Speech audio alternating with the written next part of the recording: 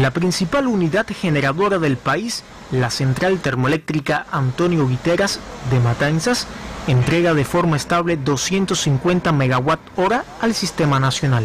Hicimos una parada durante un poquito más de 60 horas y la potencia de la máquina subió a 250 megawatts.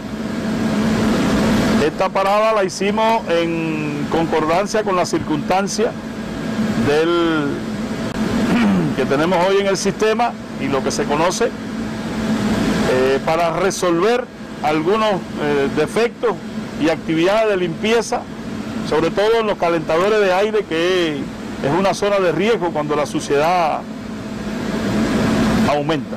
La empresa Antonio Viteras aporta más de 680 mil megawatt hora al cierre del primer cuatrimestre del año. Esta cifra representa un sobrecumplimiento del plan en cerca del 20%. Su colectivo cumple con los indicadores económicos y mantiene a la unidad como la más eficiente de Cuba, con un consumo por cada kilowatt hora de 238 gramos de petróleo crudo nacional. En la planta limitan la entrada de vehículos y realizan pesquisas como parte de las medidas para evitar el contagio de los trabajadores con la COVID-19. La inversión de la nueva casa para las bombas marcha al 90% y el muro para la protección de la industria al 70%. Ambas acciones se ejecutan tras las afectaciones del huracán Irma en septiembre de 2017.